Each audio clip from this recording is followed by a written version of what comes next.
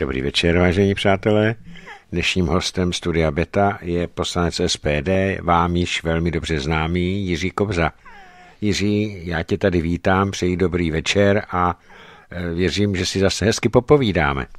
Tak e, já děkuji za pozvání, jsem tady vždycky rád a zdravím a přeju dobrý večer tobě i posluchačům a, a určitě rozebereme spoustu zajímavých témat a určitě to bude zajímat nejenom, nejenom naše posluchače, ale i příslušné orgány. No, to je jasný. A abychom je naštvali, tak já začnu trošičku netradičně a úplně jinak.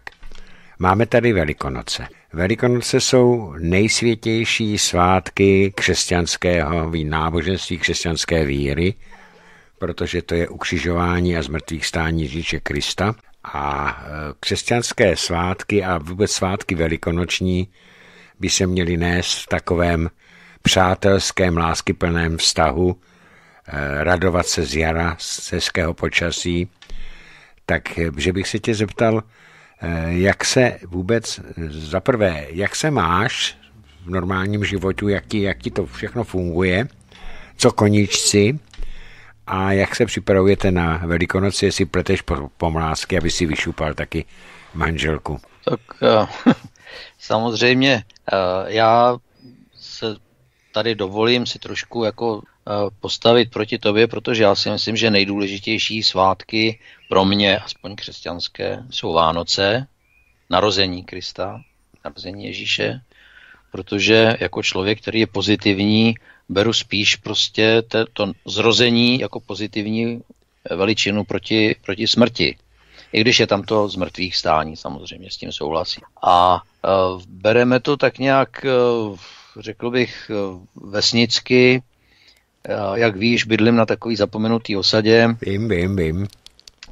A tady se většinou jako veškeré velikonoce odehrávají v pondělí ráno, kdy parta místních chlapů prostě obchází vesnici. Já jsem nikdy nepochopil, proč tak brzo ráno, jo, kdy já bych ještě spal, hmm. ale oni už tady tlučou, já nevím, v půl osmí ráno na dveře a že chtějí nějaký vejce a podobně. No spíš panáka. No, no to ne, panáka nechtějí, protože všichni večer musí do Prahy, rozumíš? Jo, jo, jo. Aha, aha. A, to u nás uh, panáka. no, Chodí pěšky. No, no, no, tak já tím, že prostě to jsou lidi, kteří sem přijedou na víkend, že jo, mm, a který večer mm, musí domů, tak je to takový složitější, no. Tak, uh, takže zase to uh, nějak neřešíme, že bychom tady chystali pašiové hry, to teda nechystáme, Počítám, že obarvíme vejce, koupili jsme nějaký, nějaký čokoládový pro děti. Mm-hmm. Myslím, že pro mýho tříletého synka to bude určitě velký zážitek, takže, takže půjdeme po koledě mm. tady. A, a už jenom proto, aby měl taky nějaký nějaký program, nějakou show z toho, protože to ještě neviděl. Mm. No a je to taky dobrý z toho důvodu, že vlastně jsme měli takovou smutnou událost tady. Povídej. My máme jak víš, měli jsme dva dalmatýny. Vím, ano. No a teď, jak asi začali hárat feny, tak si hoši vykousali díru v plotě a, zdrhli. Hmm. No a, ale vrátil se jenom jeden, takže jsme týden prostě tady hledali, rozesílali letáky, no. volali prostě na, na radnici, na městskou policii, na státní, prostě všude. Kdyby se někde objevil Dalmatín, tak ať je to náš. Hmm. On se neobjevoval pořád tak jsme si řekli, že nám ho asi někdo ukrad. no a e, žena dala inzerát, že koupíme mladýho Dalmatína, e, cena nerozhoduje, protože jsme si říkali, jestli ho někdo ukrad, tak se ho bude chtít zbavit, třeba, tak ho třeba bude chtít prodat a hmm. jako vozve se na tohle. No, vozvali se nějaký lidi z Kolína, přivezli psa, který byl samozřejmě úplně jiný, o dva měsíce starší. Ten náš, co se ztratilo, byl sedmiměsíční, hmm, hmm, tenhle, tenhle podle průkazu je devítiměsíční. A Ona ho teda přivezla, protože se jí líbil, teď ho vypustila na zahradu. A pes tady lítal, štěkal na všechny, vrčel prostě. Já jsem na ně koukal a on měl ten vocas nalepený až na břiše, takže to jako Strach. bylo vidět, bylo vidět, že je šíleně vyděšený. Mm, jo. Mm, mm. A všeho se bál, na všechno štěkal a takový. A teď teda lítal dvě hodiny a my jsme na to koukali prostě se Zuzkou, jsme říkali, hele, tak jestli je to takovýhle blázen, tak to jim ho vrátíme, protože máme malí děti, tohle si nemůžeme dovolit. Hmm. Ale pak jsem, pak jsem si říkal, hele, víš co, dáme mu ještě jednu šanci. on tady lítá dvě hodiny, určitě mu vytráví, dej mu do misky žrádlo, do hmm. žrádla kinedril hmm. a uvidíme. Ale pes to sežrál s tím kinedrilem teda, jo.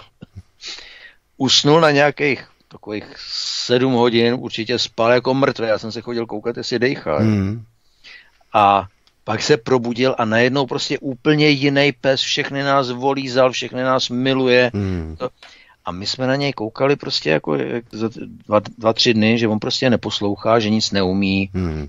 neslyší na povely a takovýhle. Já jsem, já jsem tak, tak nějak potom, protože jsem měl kamaráda, který měl podobný případ jako doma, jsem říkal Zuzce, hele, on je hluchý, on je ne. normálně hluchý jako pařez. Jo, to mladý taky pes. psi jsou hluchý, jo. Dalmatýni to mají vrozený, prosím tě, poměrně často, jak jsem, jak jsem zjistil potom, když jsem potom začal jít. Jo. Mm, mm, mm. No. Takže máme, máme prostě jako opravdu milýho uh, psa, který je jako on, je, on musel být strašně bytej. Hmm. Na to, jak je osmiměsíční, musel být opravdu hrozně bytej, protože je pořád vyděšený, bojí se rychlých pohybů, bojí hmm. se všeho, jo. Ale on byl asi bytej, protože neposlouchal a nemohl poslouchat, protože neslyší. Ano, ano, ano. No takže, hmm. takže tady, tady zase u nás je prostě strašně vděčný, strašně jako uh, strašně rád, všechny nás miluje od dětí prostě hm, dospěláky a takový uh, s, s tím druhým dalmatinem si tady honěj po zahradě a takový prostě jako je to, je to zajímavé, jak jsou ty psí osudy, prostě jako on ten ten hluchý pes to má na jednu stranu složitý, na druhou stranu se snaží kopírovat prostě, když se něco děje, eh, kopíruje druhý obsah, vnímá vibrace, eh, samozřejmě má daleko ostřejší čich třeba. Hmm, ano, no. ano. A takový. No, takže, takže to, to jsou teď takhle z naší rodiny takový poslední, poslední asi události, co se tady odehrály. No. Takže v podstatě furt tady máme takový nějaký, nějaký rozruchy a, a te, teďko, teďko strávím Velikonoce vlastně tím, že se budu snažit ho naučit reagovat na, na gesta. Hmm, ano, ano, ano, ano. Je to ale tragédie. Já jsem to vůbec nevěděl, že psi taky můžou být hluchý. No, no jak říkám, hmm. já jsem volal, volal známýho veterináře, který se mnou pracoval v té neziskovce, jak, jak jsem byl potom uh, v Africe a hmm. na Haiti. Hmm, hmm. On, je, on je zdar z Liberce. A on mi napsal, no tak jestli je to dalmatín, tak ty to mají častý, mají to vrozený hmm. a kolikrát polovička štěňat zvrhuje hluchej hmm. a polovička jako slyší. A no, oni, takže... oni to asi ty lidi, co ti to prodali, asi nevěděli ani vůbec. Já si myslím, že vůbec ne, protože, hele, eh, zajímavý bylo, oni mě ho prodali za 4 tisíce i s elektrickým obojkem, hmm. který sám o sobě stojí 3,5. Ano, ano, ano. Jo. Takže a, a prodávali ho naprosto bez jakýchkoliv emocí, bez ničeho, hmm, jo, hmm, prostě hmm. jako, jak kdyby mě prodali, já nevím, tři cihly. Hmm, ano, jo? ano. Takže už to bylo, to bylo divný, byli rádi asi, že se ho zbavili, protože očividně nevěděli, co s ním mm, a pes asi mm, taky nevěděl, co s ním. No a tak je, tak je teďko u nás, no a halt budeme mít hluchý obsáhnout. Ale máte tu výhodu, že tam máte toho druhého a on odkouká, že když zavoláte na jednoho, tak on bude jako kopírovat, asi si myslím. Ale říkám, no, do určitý míry jenom, do určitý míry, protože občas ho napadne, jako že se otočí a jde pryč mm, někam, mm, mm. ale protože neslyší, jak na něj voláme, že jo, tak to, tak to valí prostě pořád někam, někam jinam, tak mám strach, aby někam nezaběh, aby ho teďko, teďko myslivci jsou, jsou uh, jako napružený, protože zvěř vyvádí mladý, mm, mm. tak aby někam nezaběh a, a někdo, někdo nezastřelil zastřelil. No, no já už jsem tady... No a ten, ne, a ten, ten, co se ztratil, prosím tě, tak no. ten, ten spadnul do nějakého jezírka a utopil se. Utopil takže, se. Ho, takže právě místní myslivci nám ho potom vrátili tady. Hmm, no, tak to bylo takový jako smutný potom. To jo, to protože jo. to byl taky jako, jako chytrý, milý pes, hmm, všechno prostě, ale, ale jak říkám, jak začali hárat feniele, tak... Konec. 6-7 měsíců puberta prostě až hmm. na půdu a, a prostě vymalováno. No, takže, takže jenom takhle, no, na, na okraji. Na okraji, tak. A jdeme teďka na tu politiku. Eh, Jirko, vy jste se pokusili podvolat eh, Pekarovou eh, z funkce předsedkyně sněmovny. A ono by to bylo potřeba, protože to je tak ne, neuvěřitelně namyšlený člověk, hloupý ještě z těch jejich výroků všech a z toho chování, tam existuje taky nonverbální mm, komunikace, to znáš, ona je neskutečně nabobřelá. Ono se to nepodařilo, to jsem věděl, ale já se chci zeptat jinou věc. Já jsem se dočetl, Jiří, že pro odvolání hlasovalo 72 poslanců ale vy máte 90, 92 poslanců. Jako opozice jich počítám i ano. Kde bylo těch 20? Hlasovalo SPD pro odvolání? Uh, prosím tě, ta historie okolo toho je poměrně složitější. Vysvětli. A asi, asi bude dobře, když to tady vysvětlím. Uh, my jsme samozřejmě se chtěli připojit k tomu odvolání. Načež uh, z hnutí ANO nám zkázali, že nás nepotřebujou k tomu návrhu, takže v podstatě to bylo celý tak nějak jako v jejich režii. No a když přišlo, takhle, nikdo nepočítal s tím, že by se to podařilo. Na druhou stranu k tomu, co si říkal, Vladimíre, buďme fér, ona zas nějak nevyčnívá ze stávající vlády. S těma charakterovými vlastnostmi, o kterých si mluvil. Buďme féroví, jo.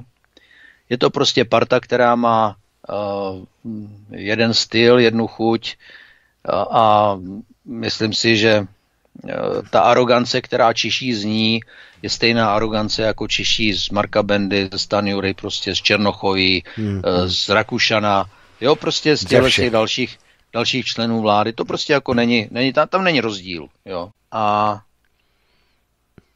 Samozřejmě ono nešlo ani tak o to, že bychom si mysleli, že bude možný odvolat, ale spíš šlo o to se, se ozvat.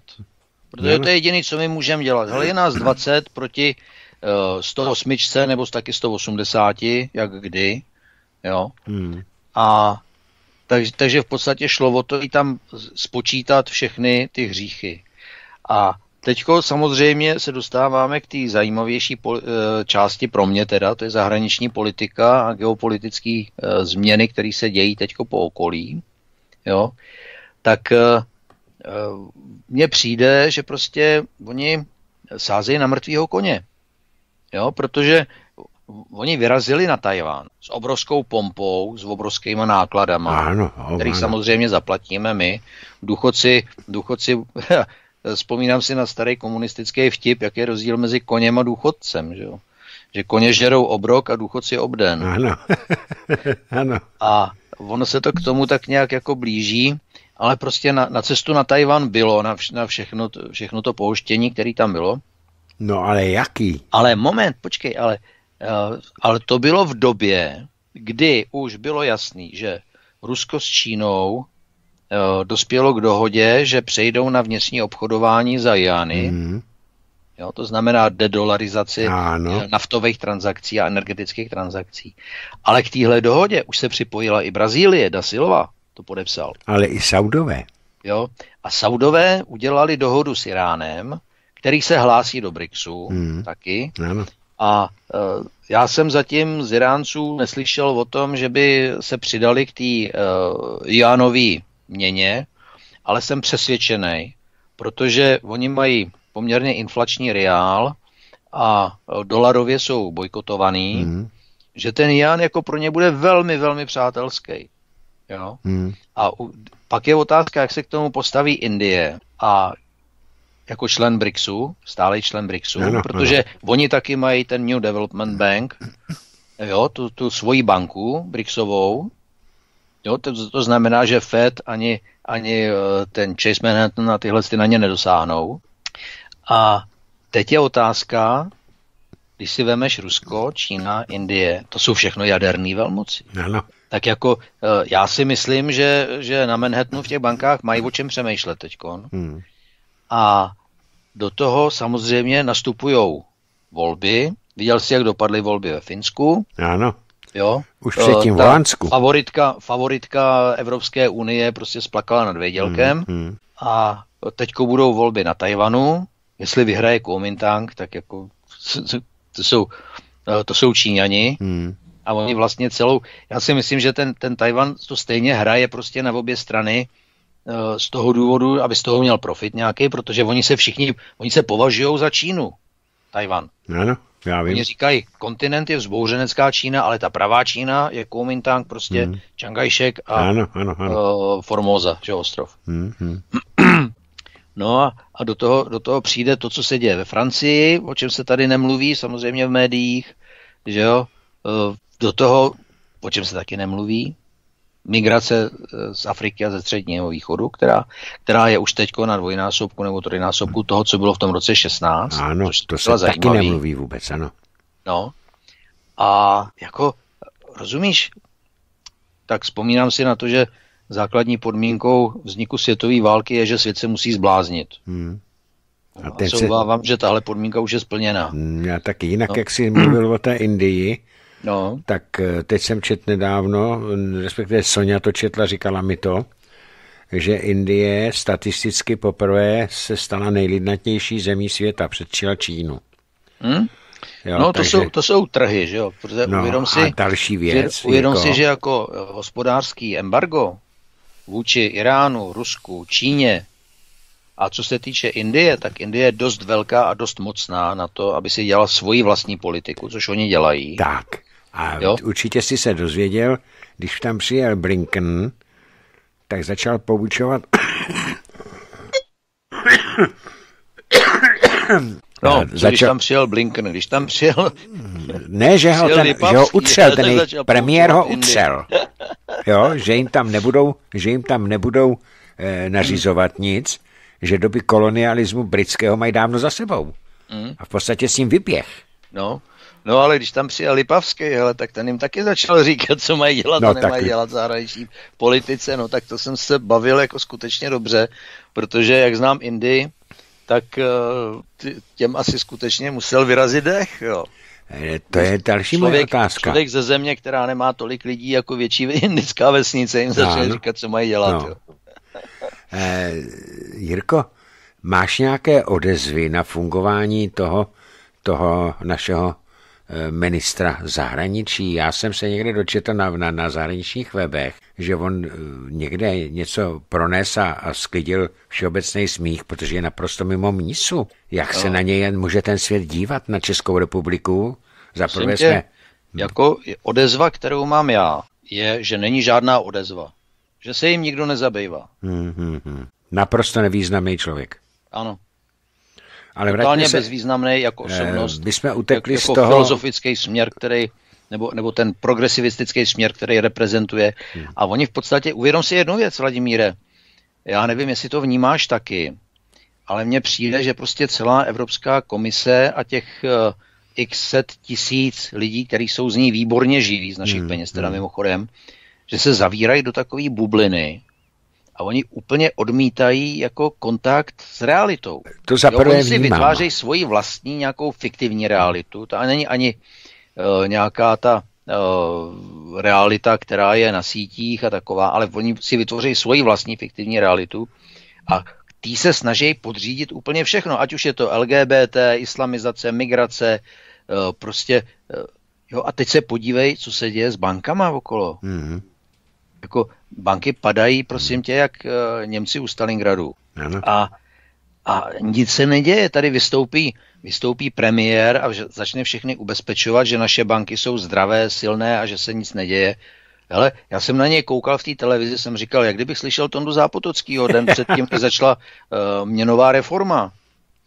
Ale teď si představ, že já to zažil na vlastní kůži a to říkal v rádiu tehdy, a naši se o tom bavili, i děda s babičkou se o tom bavili, jo, protože tam u babičky s dědou to bylo úplně specifický. A takže já to, tohle to slyšel na vlastní uši. A že to říkal v pátek a v sobotu to bylo. Mm. Ale zeptám se, vrátíme se k tomu odvolávání, to, jsme, to si nedovysvětlil. Jak to bylo s tím, s tím hlasováním? Uh, jo, promiň, prosím tě. Tak samozřejmě my jsme všichni hlasovali pro, Eh, měli jsme pár lidí, kteří byli nemocní, eh, který, který prostě se nezúčastnili tady toho. Eh, Anaři, těch tam bylo výrazně, výrazně méně. To mě překvapil jejich poslanec Jáč, který se zúčastnil té cesty na Tajván hmm, dokonce. Hmm, hmm. Jsem vůbec nechápal, jako proč tam šel. Ale v podstatě tam, tam nešlo ani o to hlasování jako takový, ale spíš šlo o to, o tu diskuzi, která předcházela, kde, kde prostě jí spočítali všechno, co jí, co jí zazlíváme. Tak a to nás zajímá. A, a to po ní teklo prostě jak uh, voda po masném papíru hmm, hmm. A, a jako totálně nezájem, že jo, naopak vystupovali všichni přednostní práva. Uvědom si jednu věc, Vladimíre. Pěti koalice díky tomu, jak to skouleli, díky Rycheckýmu, hmm. Tak má 30 přednostních práv. My jich máme 6, jako opozice, včetně ANA. Hmm, SPD 2, hmm, hmm. ANO má 4. Jo? Hmm. A teď tam vystupovali všichni s přednostníma právama a začali ji vychvalovat, jak je výborná, jak je krásná, jak je chytrá, jak je inteligentní, jak ji všichni berou a jak je vítaná všude a jaký úspěch mají její mise do zahraničí a, a v tuzemsku a prostě bla, bla, bla, bla, bla. Jako opravdu, můžu ti říct, že já jsem prostě z té sněmovny odcházel, protože jsem říkal, tak na tohle já nemám nervy. Hmm. Jo, ale jako mě to překvapilo, protože mě to připomnělo hodně, jak víš, v minulým volebním období jsem jezdil do uh, Evropské rady a tam bylo to samé, tam byli lidi, kteří prostě mluvili, jak kdyby zrovna přijeli z Marzu a vůbec netušili, co se tady děje na Zemi. E, jinak pro tvoji informaci, já jsem čet, e, potom, potom odvolání o tom všichni politologové věděli, že to je jenom v podstatě ukázka toho, ale bylo veřejný výzkum veřejného mínění a Pekarová Adamová statečně převzala první místo po Kalovskovi v nejnenáviděnějším politikovi. A to, Přes, to byl představ... kdo, to, kdo dělal ten výzkum? Já nevím, já se na ty, na ty, na ty, kdo to dělá, jako, já jsem si to přečet jenom, jak to tam psali, že, ne. že je nejvíc nenáviděná. Ne, promiň Vladimíre, já jenom, že jsem koukal teďko na Kantar, který dává Reichlovi 6%, tak jsme přemýšleli, kolik, kolik asi hrdlička zaplatil. Že? No, prosím tebe, já jsem zase čet nějakého jiného, a zase nevím, odkud to bylo, který má nějakou tuhle tu ví, a ten zase říkal, že to je, že podle jejich výzkumu to je, to je neměřitelné množství pod 1%, jo. Hmm. Takže eh, pamatuješ na Unii svobody tehdy? Pamatuju samozřejmě a na ODU. A na, na no co pak ODA, ta tam byla díl, ale Unie svobody tady se no. založila, když Ruml a Pilip založili, tak najednou vylítla na 27% a už, že bude Ruml premiérem nebo Pilip premiérem, Jo, a všechno tohleto, za, za dva roky fungování byly volby a dostali 7,1%. Mm. Jo, takže ohromný zklamání, tady to bude to samý.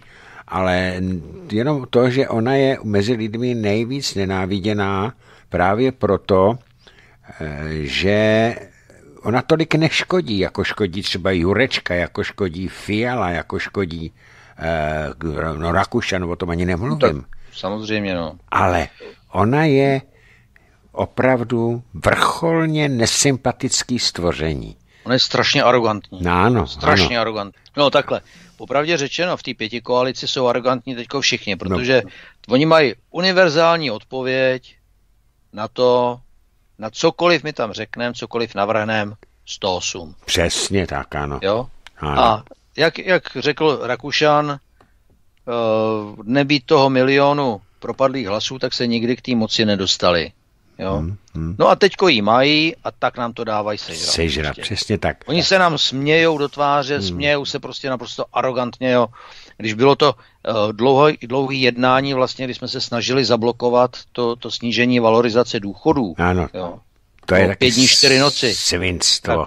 pátek, v pátek ráno vystoupil, dopoledne vystoupil Marek Benda a prohlásil, víte co, těch 92, to je fakt málo prostě. Jo, a tím to skončilo hmm, celý. Hmm, hmm, hmm. Je jo, to takže, strašně. Takže, takže oni prostě cokoliv, cokoliv udělali, cokoliv my navrhneme, to si všimni, cokoliv navrhneme, tak jdou vždycky proti.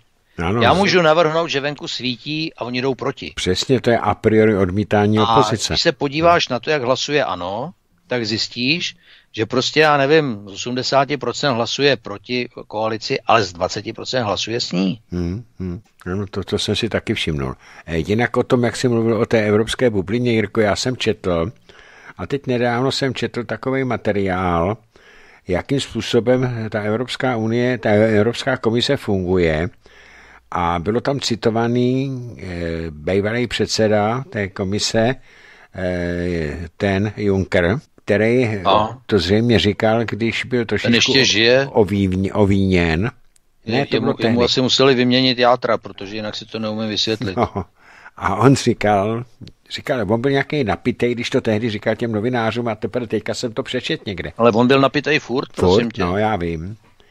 A tak on tam řekl, víte, ono to s těmi našimi zákony nebo s těmi předpisy je tak, že my si vymyslíme nějakou blbost jakoukoliv blbost. Čím horší, tím lepší. A my to vypustíme A čekáme, co ti blbečci udělají. Ty členské státy. Ano. A ti blbečci jsou ticho, no tak to zavedeme. Hmm. Když se nikdo nebo... Takhle oni to dělají. Ano. Ano, no, on se opravdu řečeno. Při, on, to, on se přiznal, protože in vino veritas, že jo? No, já si vzpomínám, když eh, teď už nejsem teda v Evropském výboru, když jsem ještě byl v Evropském výboru a přijel Franz Timmermans eh, loudit o podporu pro Green Deal hmm. a zatímco všichni ostatní mu tleskali a říkali, jak je to skvělý nápad, tak jediný kobza, prostě, ve kterém bouchli saze, mu to hodil na hlavu, normálně jsem vzal ten celý file a hodil jsem mu to přes celý stůl, ať si to odveze, hmm. že to je prostě blábol aktivistický, který nemá žádný odborný nebo vědecký e, základy a že to prostě jako vede jenom ke zničení naší energetiky, dopravy a průmyslu. No takže potom, potom samozřejmě v druhém období už jsem tam nebyl teda, jo. Hmm, hmm. Pro, protože máme jenom 20 hlasů samozřejmě a tím pádem jako jsme neměli tu sílu aby jsme se tam dostali dál a mohl, mohl jsem to nějakým způsobem brzdit. Jo. Timmerman zkoukal jako puk a pobavilo mě, že, že potom jako na to říkal, no ale vy mluvíte, jako, vy, vy mluvíte proti 99% všech expertů, tak mě napadlo, jakých expertů asi se to týkalo, asi to byly nějaký genderisti, nebo já nevím, uh, k čemu mohli být, protože o většině těchto záležitostí nerozhodují lidi, kteří by tomu rozuměli. Ale to je jenom, to je jenom na okraj no právě. No není, není, ono to je dost důležitý, Jirko. Protože oni jsou experti a experti. Eh, jsou experti, kteří nejdou s proudem a ty jsou umlčováni. A nejenom ševčík, politicky. Třeba. Když je to liberální ekonom. Že? Ale přitom, přitom on říká pravdu. Ano. A to se dneska nesmí. A oni no. jsou umlčováni i v, juris, eh, v, v juristice, u soudů. No. Vem si náš případ. To hodnocení, ten soudce vycházel jenom z hodnocení pro režimních odborníků a nepřipustil ten soud ani jeden odborný názor e, lidí, kteří měli pod, podložený opačný názory. A nejvíc zajímavé bylo, že vůbec nepřispustil u soudu důkazy, které byly před rokem 90. Jo? Vladimíre, to samé bylo, prosím tě, před e, dvěma a půl lety, když, nebo, nebo dvěma lety, když soudili Michala Krafta. Hmm. Jo, já jsem u toho soudu byl, tam nás nepustili dovnitř, jo, a v podstatě to bylo jasný soudce prostě odmítl všechno, co mluvilo v jeho prospěch. Jo? No, a on, on uvědom, se... si, uvědom si jednu věc, já už jsem to psal kolikrát, jako z české televize se stal Folkische Beobachter. Mm, ano, ano, ano. Jo, to je pro ty, kteří to nepamatujou, to byl hlásný uh, plátek uh, vlastně uh, nacionálně socialistické strany Německa, mm, NSDAP, mm, za druhé světové války. Jo, jednostranný, jednostranný, naprosto ideologizovaný, naprosto spolitizovaný informace a, a spravodajství. A jo. ještě si to dali ten název, a. lidový pozorovatel. Ano. A to je, to je překlad toho Folkische Beobachter, promiň, já jsem to zapomněl složit.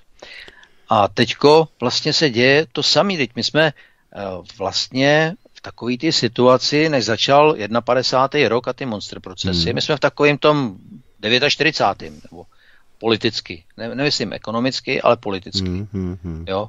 Protože eh, kdokoliv řekne cokoliv, co neodpovídá tomu mainstreamu, tak dostane, dostane podmínku půl roku, nebo ho zavřou na tvrdo. Jo? Eh, případně, případně eh, jako ještě povzbuzují Pavky Morozovovi pro ty, kteří to neznají, tak to byl, to byl uvědomělý sovětský žák, který udal svého otce za to, že schoval pytel obilí, který ho za to potom zavřeli nebo zastřelili, já nevím. Ano, jo? ano, ano, oni ho popravili dokonce, no, on přišel život. Ale uh, jde o to, že prostě podporují to udavačství. Mm, uh, včera se bavil, včera vlastně předevčírem byla ta, ta schůze vlastně o tom, kde se jednalo o, oni, oni tomu neříkají práskači, oni tomu říkají whistleblower.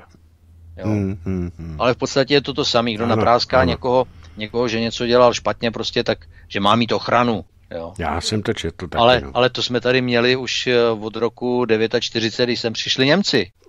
39, 39, ne 49, no, 39. 39, promiň, promiň, mm-hmm. 39, to je přeřeknutí. Jo. A, a v podstatě jako, a potom, potom samozřejmě v, v těch 50. letech, od toho 49. 50. roku, to bylo to samé. Kdo napráskal souseda, že jo, tak, tak si s ním vyrovnal účty, hmm, soused hmm. měl dvě krávy, on měl jenom jednu hmm. kozu, tak prostě tomu sousedovi to dal sežrat. Jo, a napráskal ho někam a souseda zavřeli, krávy mu sebrali, že jo, a tady toho, tady toho udělali šéfem něčeho místního. Uh, Jirko, půjdeme zase... No, ale uvědom si, jak se ten svět prostě točí furt ve spirále, že jak ano, nikam nevede vlastně, jak, jak prostě ten vývoj nikam nevede. Uh, je to, uh, válka skončila v 45. a podívej se na ty šílence, jak tady řvou o té válce, znova, který nikdo z nich v ní nebyl, nikdo z nich netuší, co to obnáší. Jako já v ní byl, rozumíš? Hmm. A, a jako já jsem z toho strašně vyděšený, protože říkám, jako to jsou šílenci, kteří vůbec netuší, o čem jde. Oni vidějí prostě rozvinutý prapory, dechovku a mašírování po ulicích. Já vidím ty vdovy, sirotky, ty zmrzačený, jo, rozbitý vesnice, rozbitý města, jo, rozbitou infrastrukturu, lidi, kteří hladoví, lidi, kteří prostě se nemají v čem umýt, nemají se čeho napít. Jo. Já jsem tohle všechno zažil. Eh, Jirko, no, ono... Promiň že, promiň, že jsem trochu emotivní, ale mě to opravdu jako hodně trápí. Mě to taky vadí, protože já jsem hodně zabývám druhou světovou válkou, tedy největším konfliktem, který tady byl. A můžu ti říct, že jsem četl dokonce názor, eh, jestli to byli neonacisté, nebo to je liberální demokraté, nevím. Tam není rozdíl. No právě proto to říkám, že nevím. No nacismus je socialistický směr, pro NSDAP, Národní socialistická dělnická strana. strana. ano.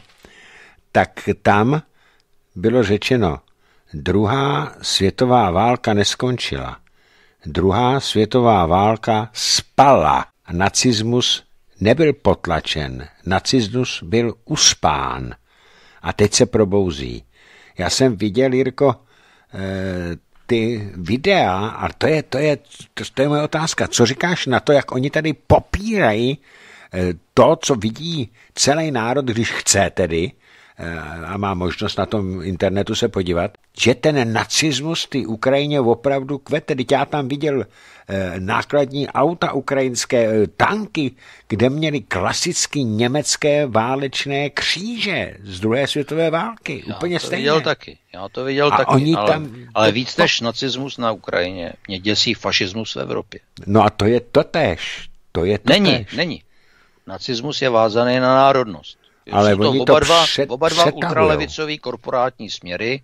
Kdo neví, co to obnáší, doporučuju otevřít si Wikipedii, tam je to velmi pěkně popsaný, jo. Ale fašismus znamená, jako fača, ta italská, že se každý může přidat, jo, a tím pádem se prostě eh, ten socialistický internacionalismus, konec konců Piráti mají svoji pirátskou internacionálu, hmm. oni se s mhm. tím ani netají, ano. Jo, a ten, ten fašismus prostě začíná prostě nabírat na síle, aspoň mediální. Ale současně se zvedá odpor ze spoda od lidí, kteří říkají, my tohle nechcem. A teď je otázka samozřejmě, eh, jak to dopadne a kam až to dojde.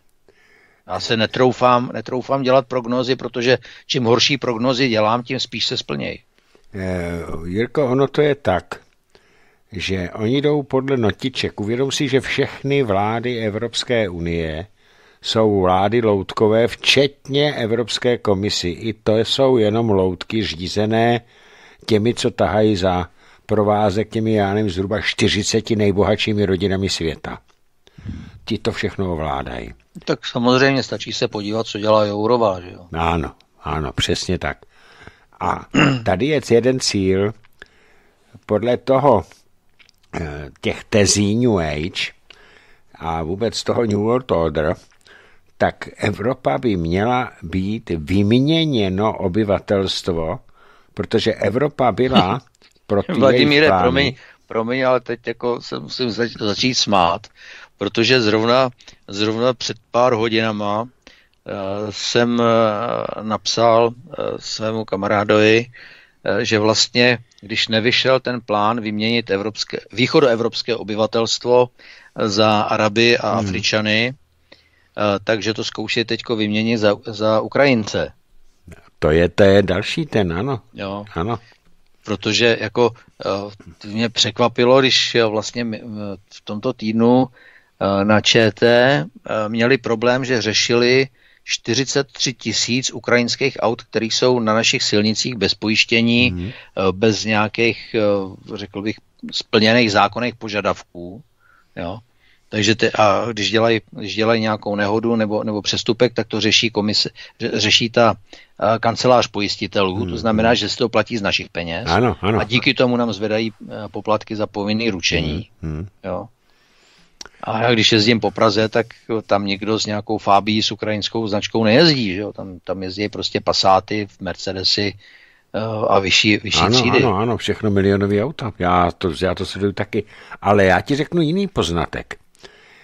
Já jsem byl minulý týden v Praze, přes Prahu jsem jel. Ne, teďka ve úterý, ve středu, ve středu, včera. Dneska je čtvrtek, že jo? Včera. No, ne, dneska je pátek. Dneska je čtvrtek. Ne, dnes je čtvrtek, promiň, promiň máš pravdu. Já, já pátek nevysílám. Když, takže já, jak, včera... já jak jedu pořád, vlastně pořád víkendy, týdny a takový, tak občas ztrácím přehled. Já jsem zažil totiž, když, jsme, když jsem jel eh, v té špičce, když jsem jel nahoru Bělohorskou, ne Bělohorskou, eh, dřív se to jmenovalo Pioníru, já nevím, jak se to jmenuje dneska ta ulice, ta, ta ulice, Patočková. Patočková, myslím. Tak eh, tam v tom druhém pruhu jel, jelo auto s českou značkou, bylo, tak, bylo to Q, Q7, jo, Audi Q7. Jo. A bylo to česká pražská značka, a tam ta silnice byla původně dvoupruhová, Piráti to tam totálně zazděli, totálně to tam zneprůjezdili, protože tam udělali odbočující pruhy doleva a ještě tam dali před ty, ty takový ty, ty, ty kužele, nebo jak se to zamontovaný do země. Jo, jasně. Takže tam teďka jsou věční fronty, že jo, ty Vím, piráti. to je u toho kláštera, no. No, no, no, no, no, přesně tak. U Bředenovského kláštera. A teďka on tam jel a já jsem ho tam nepustil. Já jsem byl před ním, jak jsem ho tam nepustil. Bylo to český auto, teda ta, ta, ta sedmička měla český pražský značky. Otevřelo se okýnko a ten tak mladý kluk, 25, 26 let, na mě začal něco řvát, buď to bylo ukrajinsky nebo rusky, ale spíš ukrajinsky, protože rusky bych mu rozuměl. A začal se strašně rozčilovat, arrogantně, hrozit na mě pěstí a já nevím, co ještě, protože on tu slušnou kolonu, která jela v tom pravém pruhu poslušně, tak on ji tím odbočovacím pruhem celou předjel a pak se tam chtěl drze nadspat. No já jsem ho tam nepustil. Takže, ale co je podstata toho, co povídám?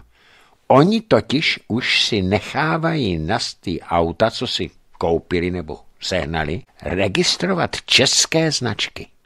Tak když si to auto koupí tady, že jo, no. a podle toho, jaký auta sem přijeli vlastně, tak uh, to nebyli žádní dělníci z Kolbenky, kteří mm. by tam točili u soustruhu 12 hodin denně. A uh, Já oni se... jako, jako Ukrajinci, kteří tady pracují, uh, pracovali předtím, než uh, se Rakušan rozhodl zvednout závory a pustit sem prostě všechny, co, kdo, kdo budou chtít. Po těch dvou letech, kdy byly vlastně zavřený hmm. veškeré hranice, kdy, kdy prostě se nevydávaly víza, tak oni, oni sami se děsejí, říkají, pro boha, co si to sem pouštíte.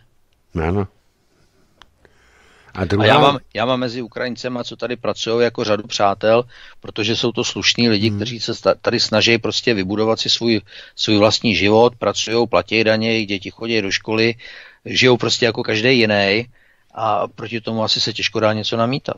Ale nikdo nic nenamítá. Ale, ale, ale v momentě, kdy někdo přijde a začne nám říkat, hele, tak teďko to bude podle mě. Přesně. A to tak jsou tyhle v tom případě já už se ozvu.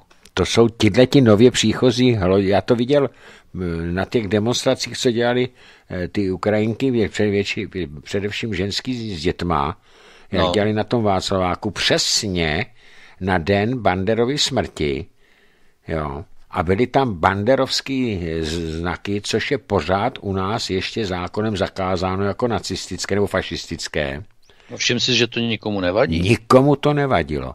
Ale Kdyby... když se šéf-šík šel zeptat velitele zásahu, no. Eh, kdo rozbil uh, ústa prostě člověku, hmm. který tam nic nedělal, že jo, tak je z toho aféra. Ano, ano.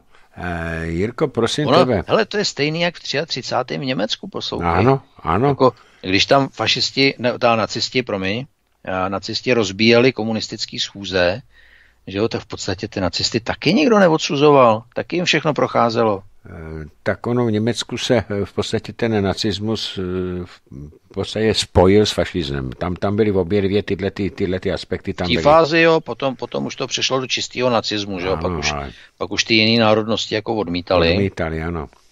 Ale ten italský fašismus jako takovej, který byl v tom, v tom Mussoliniho, Mussoliniho stylu, to znamená, že oni se snažili jako ty lidi na sebe nalákat tím, že jim dávali práci, že budovali něco a takovýhle, že jo, aby potom, potom mohli jako jít s pravdou ven, mm. jo, až už je měl na své straně, tak já se obávám, že prostě ta historie se opakuje. No samozřejmě, že se opakuje, ale eh, další otázka by mě zajímá.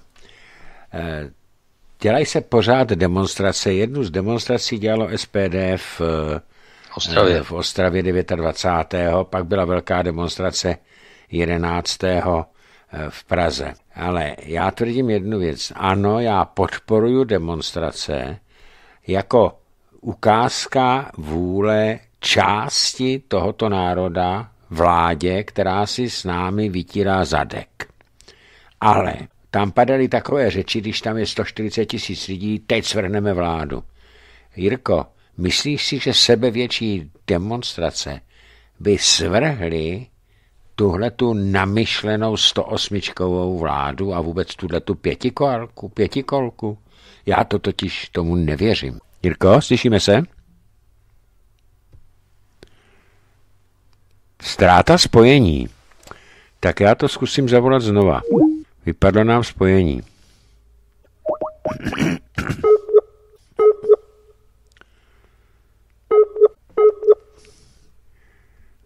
Tak, nám tady vypadl internet. Nám vypadl internet.